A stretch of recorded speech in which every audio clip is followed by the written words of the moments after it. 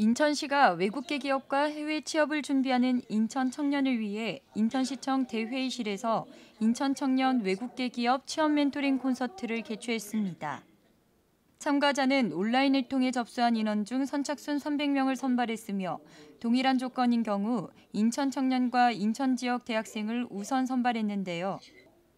IBM, 나이키, 아마존 등 20여 개의 외국계 기업의 한국 법인 전 현직자가 재능 기부 멘토로 참가하여 특강, 모의 면접, 패널, 멘토링, 그룹 멘토링 등 다채로운 형태로 청년들에게 해외 취업에 대한 자신들의 생생한 경험을 전했습니다.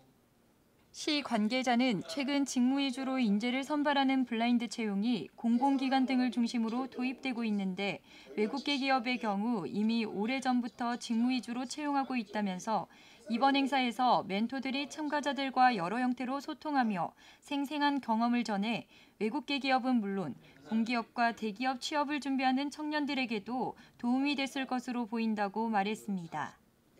이번 취업 멘토링 콘서트를 통해 인천시의 미래를 짊어질 젊은 인재들이 더 많이 탄생하기를 기대하겠습니다.